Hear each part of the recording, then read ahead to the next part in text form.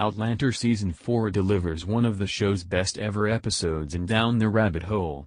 Spoilers ahead in our review. Brianna may be traveling through time to find Claire and Jamie, but it's Frank on her mind when she first sets off on her ambitious, brave mission. In Down the Rabbit Hole, Outlander tells the story of Bree's first days through the stones intermingled with a series of flashbacks to her time with Frank and, man, is it emotionally devastating. It's an emotionally effective choice for the show to focus on the relationship Bree had with the man who raised her, especially at this time when she is so unsure of the kind of man she will find when and if she eventually stumbles upon Jamie.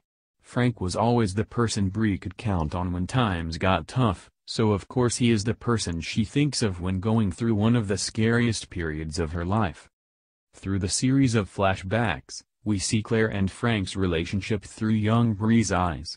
Brianna may have had a safe, mostly happy childhood, but she still fell asleep to her parents arguing and, even when her parents weren't asking her to choose between the two of them, Bree felt the choice.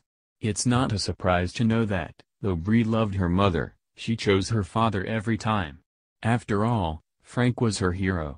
This was something Claire could allow Frank when she couldn't give her husband the kind of love he so desired from her.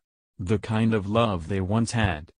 It's a smart storytelling choice for Outlander to show that Bree's perspective on her father doesn't change after Frank's death. It is the memory of her father and the love he always had for her that keeps Bree moving forward, as much as it is the hope to meet this other father she has never met and to save Claire and Jamie from certain death.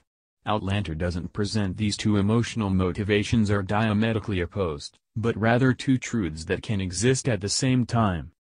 While Bree is remembering just how steadfast of a presence her father was for her, even in the worst moments of his marriage with Claire, Bree is getting some rather conflicting reports on the nature of Jamie's character.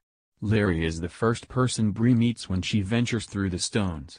It is Jamie's ex-wife who gives her clothes, shelter, and medical care for a sprained ankle. The two share a cautious camaraderie that turns bitter as soon as Laoghaire realizes who Bree's mother is. Scorned harpy of an ex-wife is not my favorite trope ever, but at least Outlander has been consistent in Laoghaire's characterization since the beginning.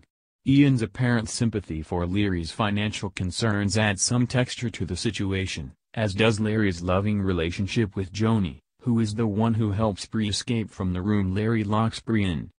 It's a bit of a mind trip to see Joni and Bree ride up to Lallybroch, knowing that they are step-siblings of a sort and that Bree is meeting her uncle for the first time.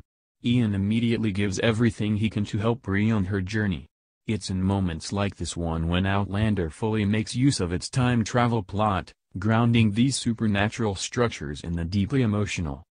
Outlander's strengths as a drama are on full display in one of the simplest, yet most emotionally devastating moments of the entire season and show, as Bree prepares to leave England and set off on this journey to the new world in a strange time, she sees Frank, her father, wishing her luck and so much love. It's a reminder that, no matter what happens, Frank will always be with her.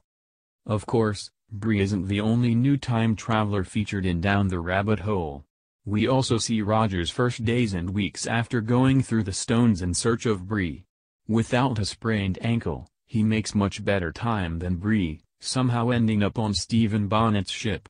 Like Bree's storyline with Laoghaire, the viewer gets a great deal of dramatic irony here waiting for the other shoe to drop and for Roger to understand this character's true nature. Bonnet's true nature is exposed in the most horrific way possible, when smallpox surfaced on his ship, first seen in the form of a sick child, Bonnet throws the child overboard to certain death without so much as a sliver of remorse. Her mother jumps in after her, a display of a very different kind of character motivation. To Bonnet, the murder of a sick child is not worth an extra thought. But this mother would sacrifice her own life just so her daughter does not have to die alone. It's a powerful moment, and one that only serves to strengthen the theme of parental love that runs through this episode. Roger's realization that Bonnet is sociopathic does not keep him from trying to help a mother and her baby, hiding them away so they are not subject to the smallpox purge.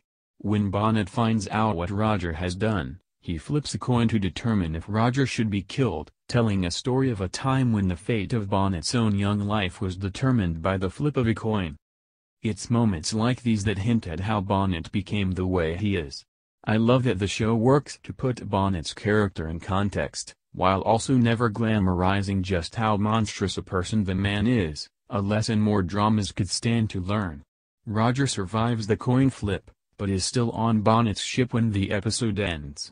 Roger doesn't seem to regret his desire to go through the stones to find Bree, but he is no doubt recognizing just how much he underestimated the dangers of this time period. Down the Rabbit Hole is one of the best episodes this show has ever done. Bree and Roger's trip through the stones gives this story new life, imbuing Outlander with the wonder of time travel it had in its early episodes when Claire first traveled through the stones into a strange land. Bree and Roger's story isn't just a repeat of what has come before, however. We have already met this time and these characters, giving us viewers a power we didn't have in Season 1, even if you are a book reader. Down the Rabbit Hole uses that dramatic irony in massively effective ways, while simultaneously using Bree's reminiscing about Frank to remind us that, even when time can be crossed for the people we love, there are some people that time keeps from us forever.